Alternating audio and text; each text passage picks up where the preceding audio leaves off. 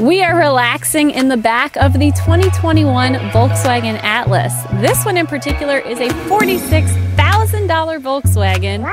And today I'm going to tell you if it's worth it.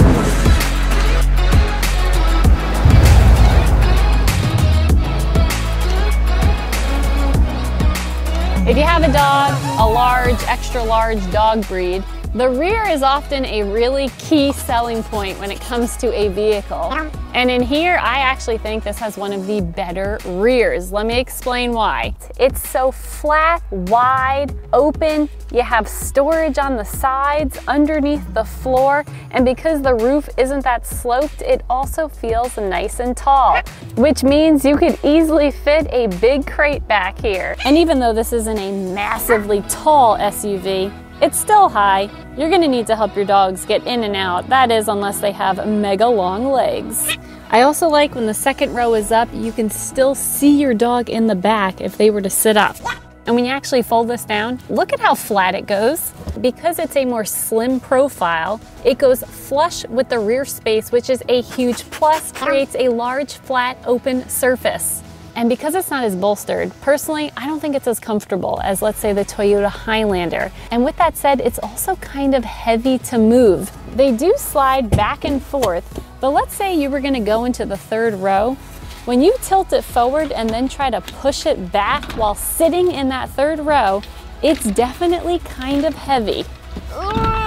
Especially this side, it's bigger. This is a 60-40 split back here. Now for $695, you can get captain's chairs. Captain's chairs as an option, which I think is a total must, especially when you have dogs.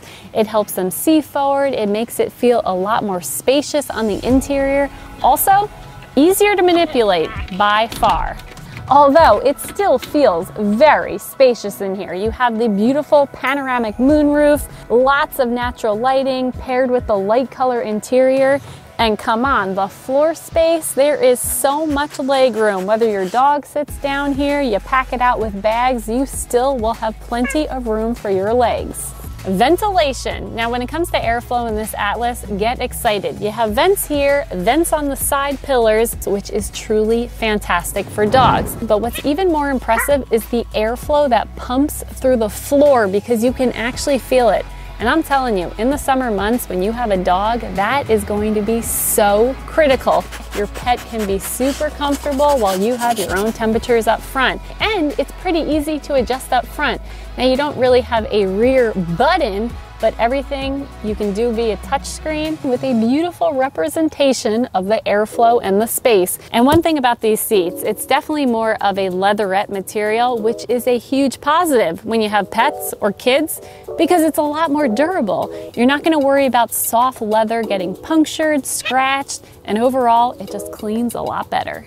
As a matter of fact, when it comes to interior material choices, I think VW really nailed it. Yes, there is a lot of plastic, which is a huge plus for families and pet lovers. And you might think it would look cheap, but it really doesn't because the edges are soft, they're not sharp. Even in the door handles, it goes all the way through extremely smooth plastic. And you might think overall interior design looks a little plain, but honestly, I'm going with the clean theme. It's just really clean. The infotainment screen, not overly cluttered. Everything is proportioned nicely. Plus you have your digital cockpit. You can customize it, have it set to all different things, kind of like we saw in the Audi. But at the end of the day, I mostly use Apple CarPlay. Android Auto. It has both. It also has two ports. They both work and there is a wireless charger, so that is also very convenient. But what really surprised me about the Atlas is when I took this for a drive. Because it doesn't feel like I'm driving a big vehicle. It feels a lot smaller than it is, more like a CUV, which is great.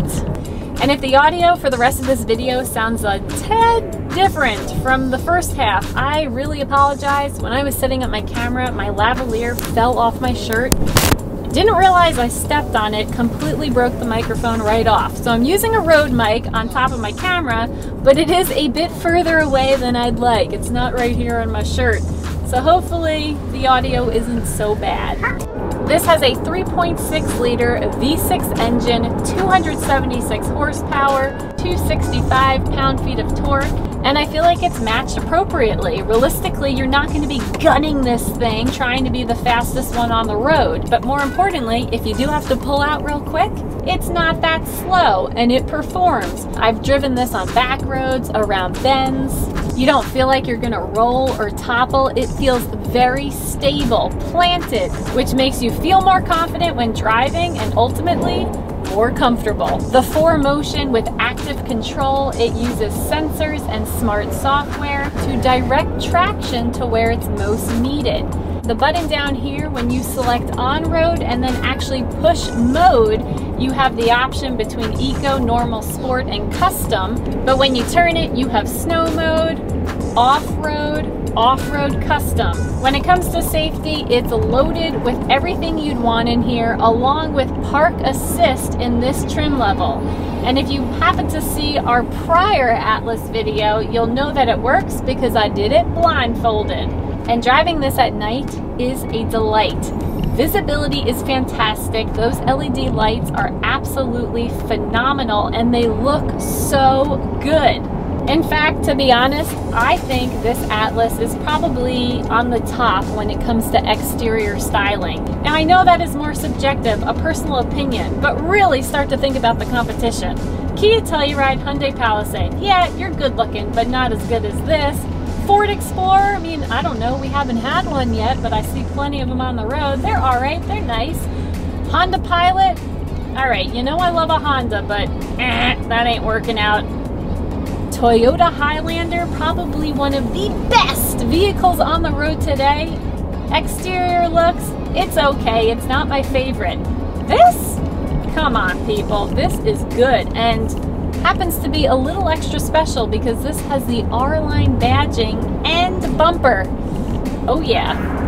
But arguably, what's more important than looks? Perhaps comfort. And when it comes to Andie, I'm telling you, she is so comfortable back hmm. there. And partially because, yes, ventilation, but the floor is not super high, so she's positioned lower, which makes her feel that much more safe and secure. Abby, on the other hand, is loving these seats because they are nice and wide. They're actually a little bit too wide for someone of my height because they jut into the back of my knees. I know that that will be a huge plus for tall people, but if you got shorter legs like me, just keep that in mind. It may not be the best fit. Is it totally a deal breaker? No, but you know, it's just things like that that I think manufacturers don't always think of. They think, oh, let's just put a big, big old seat up in here. But unfortunately, a lot of people who end up driving this have short legs. And aside from the seat, there's really only a few other things that I found slightly inconvenient about this Atlas. One is the camera. It's clear, but it's just the rear. For this price point, you gotta have a top-down bird's eye view and a dedicated camera button would be lovely. The steering wheel. It's very precise, but it's light. Now I know a lot of people shopping for this vehicle will love that. I just personally prefer the steering to have a bit more feedback. However, I will say the perforation does feel quite lovely and this is heated. It also would be nice to have a pop down mirror so you could just gaze up real quick rather than actually have to turn around to see what's going on back there. And when you're closing that rear, it would be nice if there was a lock and walk away feature. That way you don't have to fiddle with your keys, but just so you know, you can also access this via smartphone. So that's it. My list of inconveniences is quite small because this Atlas truly fits my lifestyle quite great. All I need is to add the Muddy Buddy mats and upgrade to captain's chairs and I would be set. And I think Andie and Abby would totally agree. So, uh, Andie, I got a question for you. Is the 2021 Atlas lab approved? Of course, it is totally lab approved. This really is a perfect vehicle when it comes to pets, more so than the two-row Atlas Cross Sport. And if you watch that video, you'll learn why. Thanks so much for watching this episode. We hope you enjoyed. Be sure to follow us on Instagram, Twitch, Yep, and subscribe to this channel, and we will see you next time. Bye!